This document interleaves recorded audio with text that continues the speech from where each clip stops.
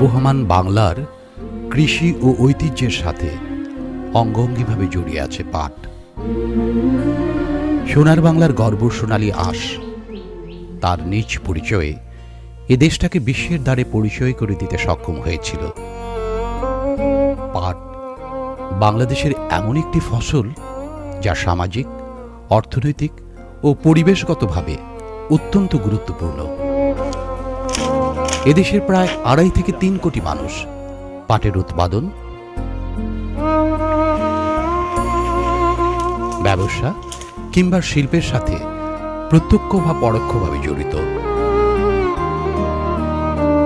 আমাদের স্বাধীনতা চেতনার একটি অন্যতম ইস্যু ছিল এই পাঠ স্বাধীনতার স্থপতি, জাতির জনক বঙ্গবন্ধু শেখ মুজিবুর রহমান স্বাধীনতা উত্তর এদেশে পাট শিল্পের উপর সর্বাধিক গুরুত্ব আরোপ করেন।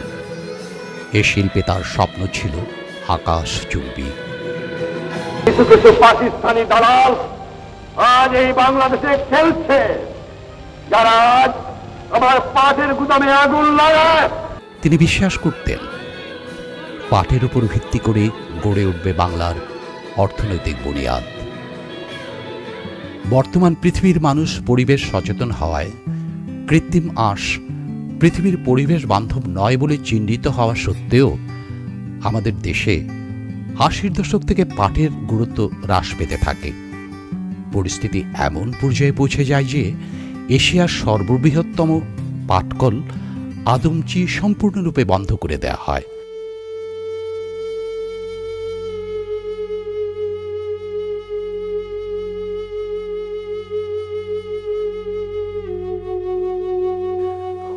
উনিশশো ছিয়ানব্বই সালে বঙ্গবন্ধুর আদর্শের প্রতীক শেখ হাসিনা সরকার ক্ষমতায় এসে পুনরায় পাটের উপর যথাযথ গুরুত্ব আরোপ করে বন্ধ পাটকলগুলো একে একে চালু করে পাটের সুদিন ফিরিয়ে আনতে উদ্যোগী হন।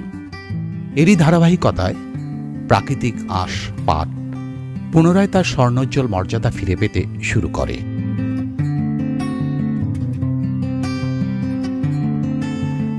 পরিবেশ বান্ধব, বর্তমান সরকার পাটকে শিল্পপণ্য থেকে কৃষিপণ্য হিসেবে ঘোষণা দেন।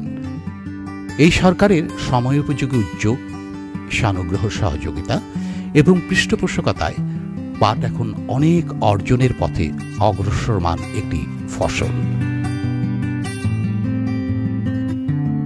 দুই হাজার নয় সালকে জাতিসংঘ কর্তৃক পাট প্রাকৃতিক তন্তুর বছর হিসেবে ঘোষণা করায় বাংলাদেশ পাট আবারও তার নতুন গতি ফিরে পেতে শুরু করে।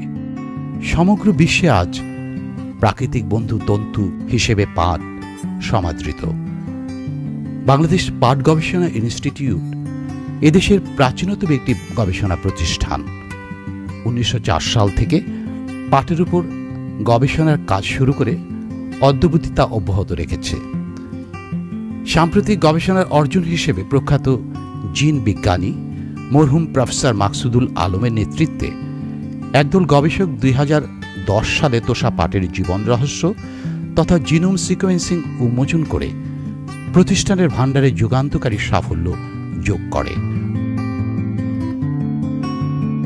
মাননীয় প্রধানমন্ত্রী শেখ হাসিনা পাটের জন্মরহস্য উন্মোচনের কথা গর্ব করে জাতীয় সংসদে ঘোষণা দেন এবং মহান জাতীয় সংসদ পাটের জিনোম উন্মোচনের প্রথম দেশ হিসেবে বাংলাদেশের যুগান্তকারী সাফল্য অর্জনের ভূভূষী প্রশংসা করেন। পাটের জন্ম রহস্য। ইংরেজিতে যাকে বলে জেনোম সিকোয়েন্সিং পাটের ক্ষেত্রে আমরা অর্থাৎ বাংলাদেশ সেটা করতে সক্ষম হয়েছে।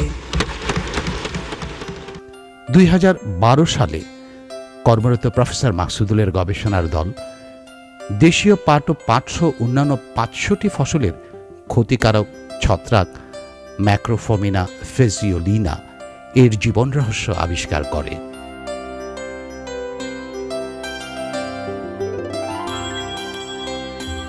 জিনোম গবেষণার ফলাফল, আন্তর্জাতিক পর্যায়ে স্বীকৃত জার্নাল বিএমসি জেনোমিক্সের সেপ্টেম্বর দুই হাজার বারো সংখ্যায় পাটের কাণ্ডপচা রোগ সৃষ্টিকারী ছত্রাকের জিনোম সংক্রান্ত তথ্য, ফসলকে আক্রমণের প্রোটিন নেটওয়ার্ক ব্যবহার কৌশল এবং কর্মপদ্ধতি সম্পর্কিত গবেষণা নিবন্ধ প্রকাশিত হয়। দুই হাজার তেরো সালে দেশীয় পাটের জীবন রহস্য উন্মোচন করে বিজেআরআই জিনোম গবেষণায় সাফল্যের আরও একটি পালক যোগ করে।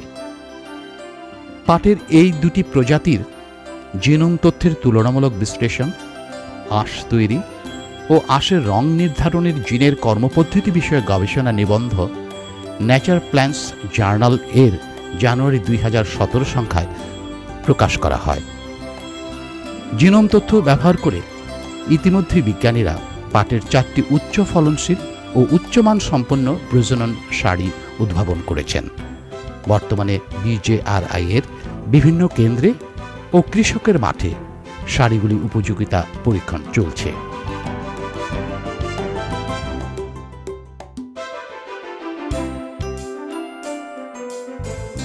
বাংলাদেশ পাট গবেষণা ইনস্টিটিউট পাটের দুইটি ধারায় গবেষণা করে থাকে।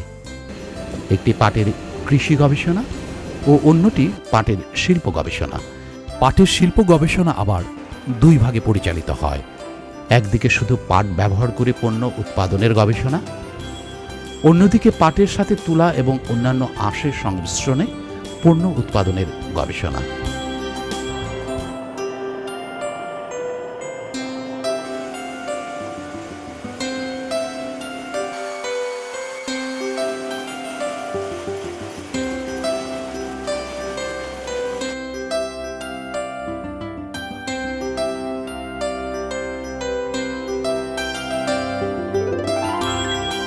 পাটের কৃষি গবেষণার আওতায় দেশের কৃষকের চাহিদা বিবেচনায় ইতিমধ্যে পাট ও পাট জাতীয় ফসলের ঊনপঞ্চাশটি উচ্চ ফলনশীল জাত উদ্ভাবিত হয়েছে।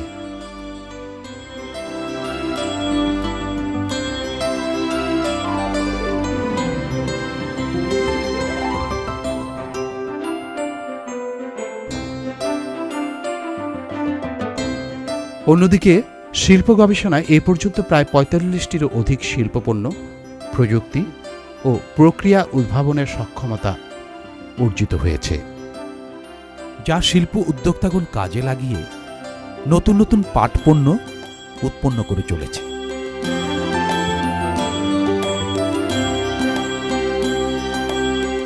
এই সোনালী আশের হাত ধরেই আবারও রচিত হবে এদেশের সোনালী ভবিষ্যৎ। এমনটি আশাবাদ নীতি নির্ধারকদের।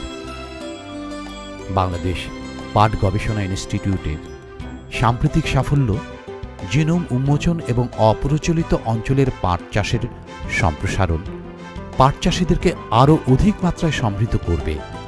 সেই প্রত্যাশা সংশ্লিষ্ট সকল মহলের।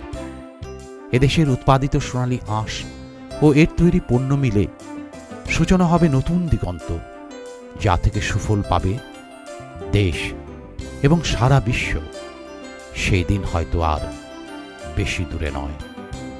সোনার বাংলার সোনালি আশ সেদিন রূপান্তরিত হবে, ডায়মন্ড আশে।